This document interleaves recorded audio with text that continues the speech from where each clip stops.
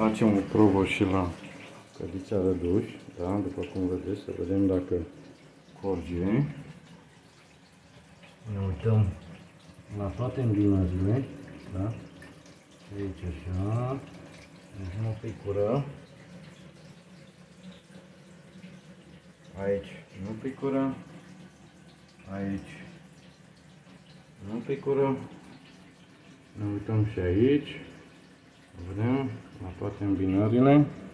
Este o cătiță cu hidromasaj. Da? Cu foliere, cu portunaj, cu mușel. Ce vreau să vă zic? Deci am făcut proba, am văzut că nu curge. La îmbinări am văzut foarte com multe comentarii pe multe alte site-uri, cum sunt astea de bricolaj, da? La îmbinări am înțeles că curge. Păi la îmbinări, la orice îmbinare se dă cu silicon, da? Silicon. Silicon. Da? Silicon.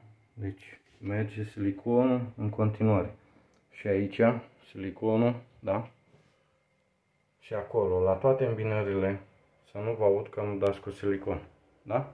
Ca să nu mai aveți probleme nici cu condensul, nici cu mucegaie, cu nimic.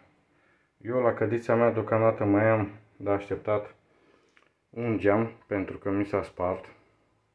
În două zile cam vine, da? Dar este pusă pe poziții. Când a venit, decât l-am pus și am și făcut baie. Deci merge extraordinar de bine. Deci vă rog, da? Încă o dată. Silicon la toate îmbinările. Silicon sanitar transparent. Da? E super. După 24 de ore, după ce se usucă, mulți spun că se usucă mai repede și poți să faci baie. Da, poți să faci baie. Dar el până nu se usucă și să nu se întărește cum trebuie după 24 de ore, voi când intrați în cărița de duș faceți mișcări. Și la un moment dat el o să se îndepărteze dintr-o parte sau din alta, da? Și atunci o să vă pară rău că ați dat cu silicon și ați făcut baie chiar foarte repede.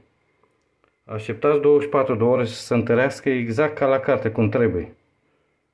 Da? Și după aceea, după 24 de ore, puteți face duș cu încredere. Sper să vă ajute.